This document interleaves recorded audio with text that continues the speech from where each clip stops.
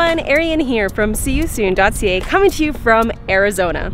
There's one landscape that is the most iconic here in the United States, it's the Grand Canyon. And I'm so excited because I'm spending the day there exploring the national park and checking off one big bucket list item.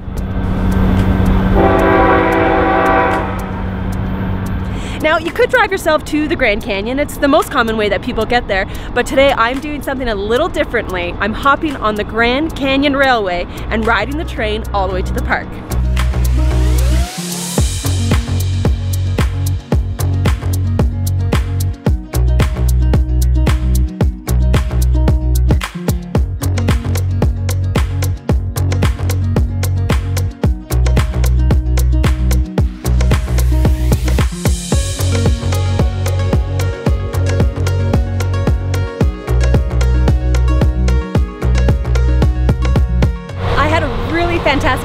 The train up here to the Grand Canyon.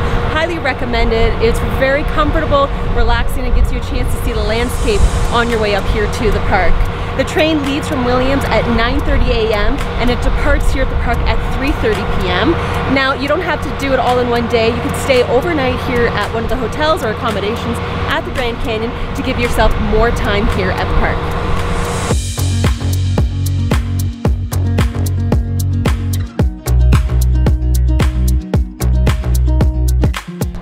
Right, well, it's time to come and see the Grand Canyon for the very first time. We're at the South Rim. My heart's kind of racing. I don't know why. It must be the altitude. But here we go. First impressions. Yeah, because I mean, when you look out that way. Okay, this is mind blowing. It's hard to Can you imagine this is? This is actually kind of oh, surreal. It actually it looks like a painting out in front. Um, it is breathtaking. It is absolutely breathtaking.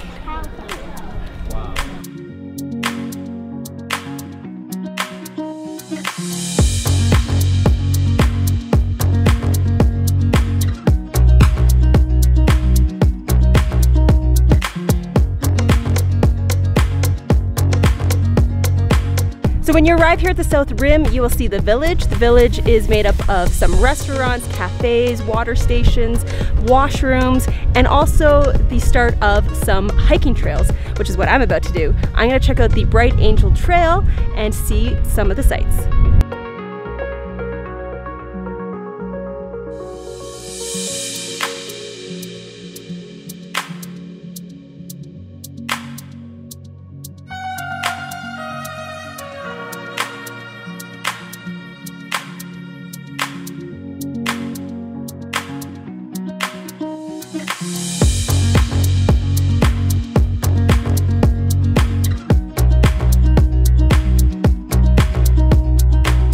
Right, how about some facts about the Grand Canyon while I'm taking a little break?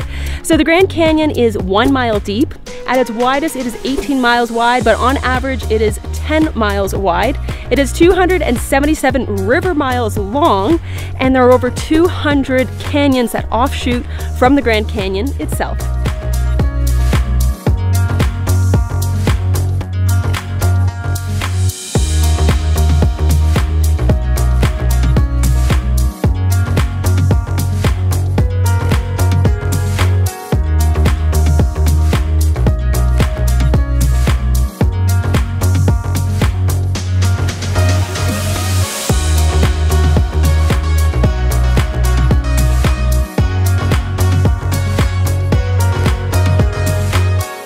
Fantastic day here at the Grand Canyon.